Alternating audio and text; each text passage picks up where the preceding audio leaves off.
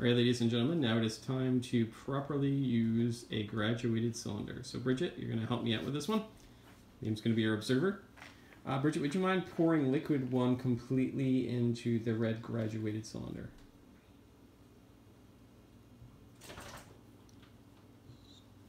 Yeah, remember, pour with commitment.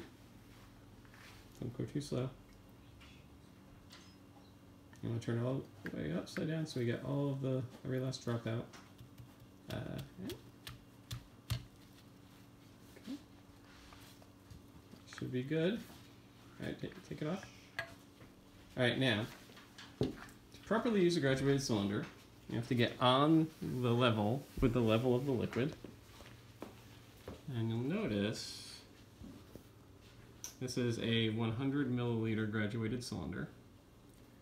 And if we go down, we can see our level with the bubbles is just about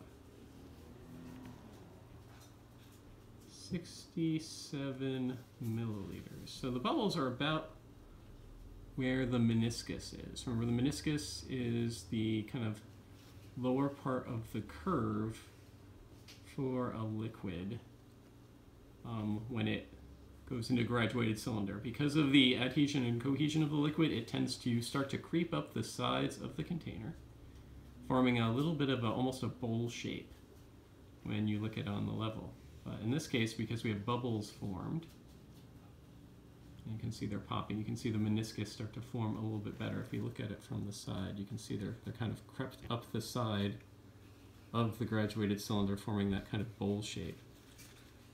So we can measure our volume of our liquid one as 67 milliliters. Now we're going to record that in table one, and we're going to go measure liquid two.